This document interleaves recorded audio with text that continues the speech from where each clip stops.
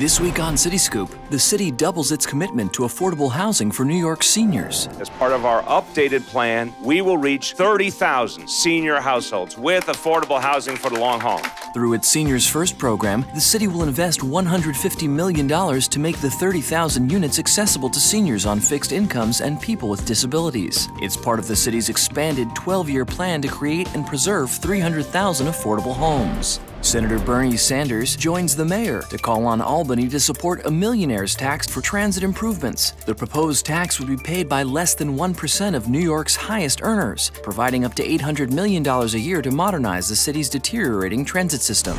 Intro 1253 is now in effect, making New York City the first in the nation to ban employers from inquiring about a job applicant's salary history. The law will help promote pay equity for women and people of color and fine violating employers civil penalties of up to 250 $50,000. That's it for this week's City Scoop.